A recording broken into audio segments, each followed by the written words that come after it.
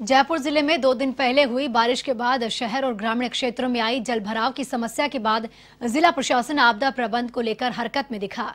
जहाँ मानसून से करीब एक महीने पहले जिला प्रशासन विभाग की ओर से आपदा प्रबंधन के लिए होने वाली मीटिंग में कंट्रोल रूम सहित आपदा प्रबंधन के तमाम इंतज़ाम के निर्देश दिए। लेकिन जिला आपदा प्रबंधन ने आदेशों को नजरअंदाज करते हुए बाढ़ नियंत्रण और आपदा प्रबंधन के किसी प्रकार के इंतज़ाम नहीं रखे।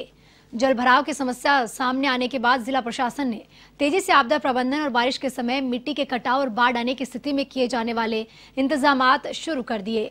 जिसको लेकर जिला कलेक्टर जगरूप सिंह यादव ने कहा कि कर्मचारियों को ज़िले में जल भराव वाले क्षेत्रों का चिन्हित करने का काम किया हुआ है, जो कि लगातार जारी है। वहीं जयपुर शहर में तीन कंट्रोल रूम भी बनाए गए वहीं बारिश के पानी के संग्रहण को लेकर जिला कलेक्टर ने कहा कि वाटर हार्वेस्टिंग सिस्टम सरकारी और गैर सरकारी भवनों के निर्माण के दौरान बनाया हुआ है।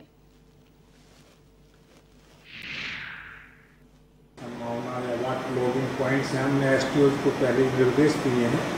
कि जहाँ जहाँ भराव हो, जल भराव होने की संभावना हो, आशंका हो, उन स्थानों का चिन्हीकरण कर ले उनके समुचित व्यवस्था अगर बहुत अतिवृष्टि होती है तो वहाँ पे पानी के भराव से जो जनजीवन अस्त व्यस्त होता है, उसके समुचित उपाय करने के लिए जैसे कहीं कटाव है तो उसके लिए कट्टे, और कहीं बहुत अधिक जल भराव या बाँध हो तो वहाँ नावें तो नाव की अवस्थिति देख लें, ज़रूर नहीं कंट्रोल रूम के